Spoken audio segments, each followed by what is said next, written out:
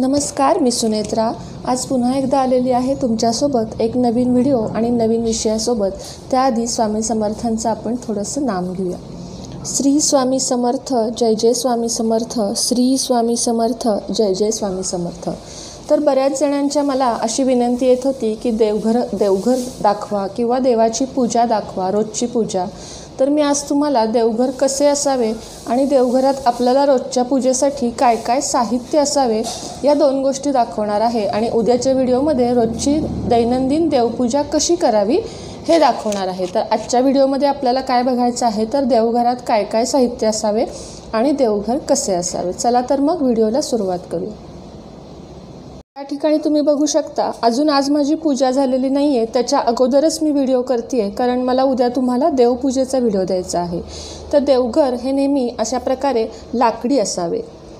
कधीही देवघर लाकडी असावे. देवघर कधी स्टीलचे लोखंडाचे किंवा इतर कोणत्याही धातूचे नसावे. लाकडी किंवा आत्ता जे सध्या मिळतं संगमरवरी तसे ते पांढऱ्या कलरचे आपले देवघर असावे. त्यानंतर देवघरामध्ये एका म्हणजे अंगठ्याच्या या ह्याच्यापेक्षा जास्त मूर्ती नसाव्यात. म्हणजे उंचीनं जास्त मूर्ती नसाव्यात. आता माझ्या घरात तुम्ही बघू शकता ह्याच्यावरती फक्त एक दत्ताची मूर्ती आहे. ती आमची खूप जुनी आणि पारंपरिक आहे त्यामुळे आम्ही ती बदलूही शकत नाही आहे त्यानंतर घरामध्ये देव देवघरामध्ये प्रत्येक मूर्ती एकच असावी. जसं की एकच गणपती एकच बाळकृष्ण एकच लक्ष्मी एकाच गोष्टीचे चार चार फोटो किंवा चार चार मूर्त्या घरामध्ये कधीही नसाव्यात. त्यानंतर देवघरामध्ये श्रीयंत्र खूप गरजेचे आहे. श्रीयंत्र घरामध्ये लक्ष्मी आणते आणि प्रसन्नता आणते. त्यानंतर मी तुम्हाला दाखवते आता माझ्या इथं कसं काय आहे ते. एक मिनिट. आता या ठिकाणी मी अशा वेगवेगळ्या डब्या ठेवलेल्या आहेत. आता या डब्यांमध्ये काय आहे? ते आपण बघूया. अशा डब्या आपण आणू शकतो. आता याच्यामध्ये मी ठेवलेलं आहे अष्टगंध जे रोज देवाला आपण उगाळून लावतो.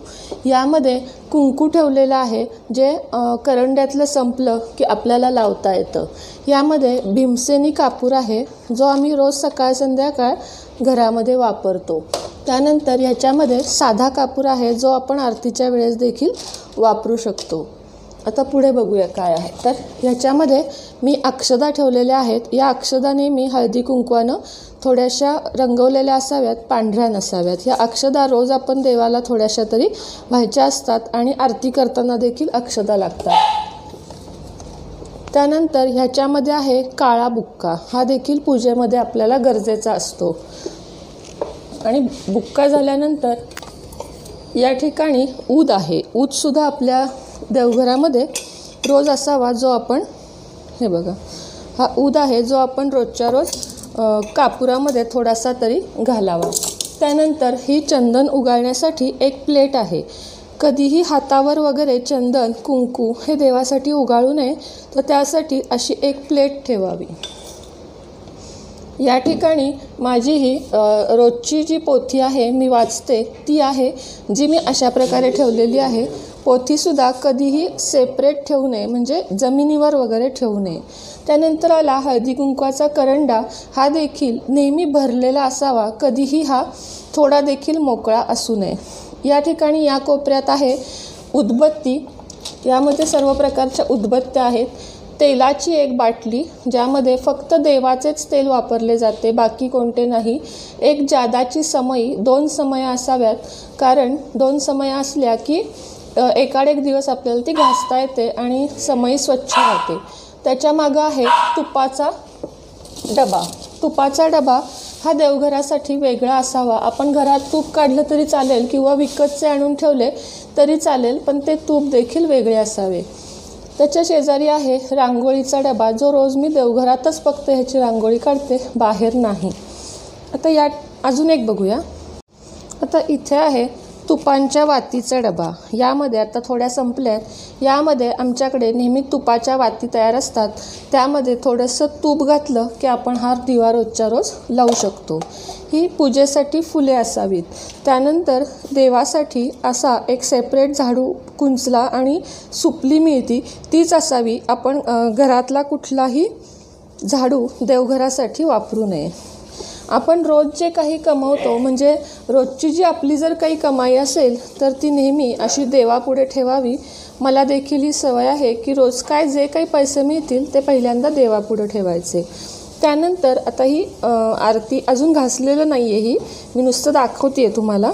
त्यानंतर रोजच्या आरतीसाठी एक तुपाचा दिवा यामध्ये कापूर जाळण्यासाठी अक्षदा हे मध्ये धूप आणि या देवाला व्हायला अक्षदा अशा प्रकारे एक तामण नेहमी असावे. आता हे आहे उदबत्ती लावण्याचे. हे देखील घरामध्ये नेहमी असावे. इथे आहेत दोन प्रकारच्या घंटा. एकाची रोज पूजा करते एक वापरातली असती. ही एक समई आहे जी मी रोज वापरते आणि ही झाली की तिकडची समई वापरते. म्हणजे दिवसाड त्या समया घासल्या जातात. ही जी देवाची वस्त्रे आहेत ती एक दिवसाड तरी खालची वस्त्रे नेहमी बदलावीत स्वच्छ धुवून घालावीत. हे पण वस्त्र एक दिवसाड मी धुवून वापरते. या ठिकाणी जो नॅपकिन आहे तो फक्त आणि फक्त देव पुसायला आहे हात पुसायचा नॅपकिन वेगळा आहे हा मी रो हा आम्ही रोजच्या रोज धुतो. आता ह्याच्यावरती आहे सोवळं जे माझे मिस्टर पूजा करताना नेहमी घालतात. आणि देवघराला नेहमी अशा प्रकारे पांढऱ्या टाईल्स असाव्यात किंवा पिवळ्या टाईल्स असाव्यात बाकी कुठलाही कलर शक्यतो वापरू नये. आणि भिंतीला म्हणाल तर देवघराची भिंत नेहमी केशरिया किंवा भगव्या रंगाची अशा प्रकारे असावी. तर एकूण असं आमचं देवघर आहे. ज्याची मी तुम्हाला पूजा करून उद्या नक्की दाखवणार आहे. हा छोटासा तांब्या म्हणजे आता मोठा तांब्या ठेवण्यापेक्षा आत्ता हे असे निघालेले आहेत तर हे खास देवासाठी थोडंसं पाणी रोज आम्ही यामध्ये ठेवतो. आणि शंख जो असतो तो कधीही कोरडा ठेवू नये त्यात पाणी घालून ठेवावे. महादेवाच्या पिंडीखाली देखील नेहमी पाणी ठेवावे. असे हे जे पाणी आहे ते खास आम्ही देवासाठी भरून ठेवतो जे आम्ही बाकी इतर कशालाही वापरत नाही. याला सोवळ्याचं पाणी म्हणलं जातं किंवा अशुद्ध शुद्ध पाणी म्हणलं जातं. इकडे आहे तामण तांब्या आणि पळी. भांडं आत्ता ह्याच्यात नाही आहे ह्या गोष्टी पण रोज देवघरामध्ये असाव्यात स्वच्छ घासलेल्या असाव्यात. त्यानंतर चटई. ही आपल्याला बसायला चटई किंवा मी आत्ता या पाटावर बसलेली आहे असा पाट जो देवघराच्या उंचीपेक्षा नेहमी खाली असावा. आपलं आसन कधीही देवघरापेक्षा उंच असू नये. त्यानंतर आपल्या ज्या रोजच्या वापरातल्या पोथ्या आहेत त्या आपण कधीही कापडामध्ये गुंडाळून किंवा अशा प्रकारे डबा करून ठेवावा. आता मी रोजची पोथी अशी कापडामध्ये ठेवलेली आहे आणि जे मला रोज लागतं की स्वामी समर्थ चारामृत श्री सप्तशती गुरुचरित्रसार हे जे आहे नऊ गुरुवारच्या व्रताचं पुस्तक सॉरी ग्रंथ आहे तो मी इथं ठेवलेला आहे. हे अन्नपूर्णा स्तोत्र. असे बरेच आहेत माझ्याकडं. रामदासांच्या सवया नित्योपयोगी पंचवीस स्तोत्रे ही अकरा प्रभावी स्तोत्रे रामदास उपासना वैभव लक्ष्मीचं पुस्तक हे जे आहे हनुमान चालिसा ही रोजच्या वापरातली लागणारी आपल्याला व्यंकटेश स्तोत्र. हे सगळं रोजच्या वापरातलं आहे. ह्याला देखील व्यवस्थित ठेवण्यासाठी मी ह्याला एक असा डबा केलेला आहे. त्यानंतर घरामध्ये धूप देखील देवघरामध्ये नेहमी असावा. आवश्यक गोष्टी धूप काडेपेटी जेणेकरून आपल्याला पूजा करताना कधी उठायला लागू नये. आता ही माझी रोजची वापरातली जपमाळ आहे ती मी या ठिकाणी अशी ठेवते कारण माझ्याकडे गोमुखी पिशवी नाही ती आणल्यानंतर मी नक्की त्यामध्ये ठेवेन. अशी ठेवा किंवा एखाद्या डब्यामध्ये ठेवा. हे आपण पोथी किंवा ग्रंथ वाचतो त्यासाठी हे ठेवण्याचं आसन आहे.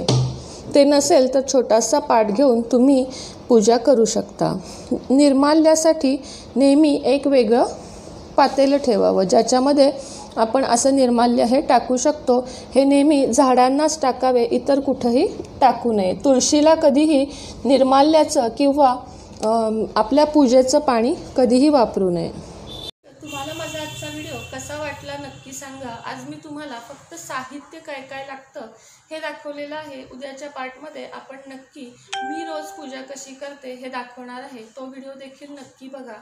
याचबरोबर मला तुम्हाला सांगायचं आहे की देवघर मगाशी सांगितल्याप्रमाणे कधी स्टीलचं किंवा लोखंडाचं नसावं आणि मंदिराच्या वरती कुठल्याही प्रकारचा कळस नसावा हे जे मंदिर आहे हे असं प्लेन असावं आणि त्याच्यावरती शक्यतो कुठल्याही अवजड वस्तू किंवा ह्याच्यावर मूर्त्या फोटो असं कधीही आपल्याला ठेवायचं नाही आहे आणि एक इंचापेक्षा म्हणजे आपले हे बोटाचे तीन पेर आहेत ह्याच्यापेक्षा उंच मूर्ती कधीही देवघरात ठेवायची नाही.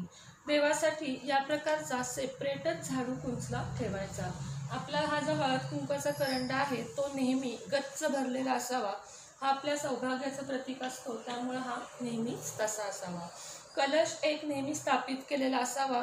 मला माझा आत्ता कलश बदलायचा आहे तो मी तुम्हाला उद्याच्या भागात नेहमी दाखवेन. त्या कलशाच्या नारळाला कोंब आल्यानंतर काय करावं हा प्रश्न बऱ्याच जणांना पडतो. तर त्या कलशाला कोंब आल्यानंतर जर आपल्या इथे जागा असेल तर नारळाचं झाड म्हणून तिथं मागं लावावा मागच्या जागेत. किंवा एखाद्या शेतीत बागेत तो नारळ कोणाची तरी परवानगी घेऊन तिथं नेऊन लावावा जेणेकरून त्याचं झाड तयार होईल. त्याच्यापासून फळं आणि सावली दोन्हीही मिळेल. आता यापेक्षा जरी तुम्हाला काही वेगळ्या अडचणी असतील तरी मला तुम्ही नक्की विचारा. मी तुम्हाला पुढच्या व्हिडिओमध्ये किंवा याच व्हिडिओमध्ये त्याची उत्तर देण्याचा नक्की प्रयत्न करेन. अजून तुम्हाला काय बघायचं असे आहे हे देखील मला सांगा. मी ते व्हिडिओ पण बनवण्याचा नक्की प्रयत्न करेन. तर आजचा व्हिडिओ इथंच थांबवूया माझ्या व्हिडिओला सबस्क्राईब करायला विसरू नका लाईक करा शेअर करा. शेजारी बेल आयकॉनचं बटन आहे ते दाबायला देखील विसरू नका. अशीच साथ द्या असेच प्रेम राहू द्या. कोरोना काळात सगळ्यांनी स्वतःला खूप खूप जपा. घराच्या बाहेर जास्त पडू नका. स्वस्त राहा मस्त राहा खात राहा. ह्याचबरोबर मी आजचा व्हिडिओ इथंच थांबवते. श्री स्वामी समर्थ जय जय स्वामी समर्थ. श्री स्वामी समर्थ जय जय स्वामी समर्थ.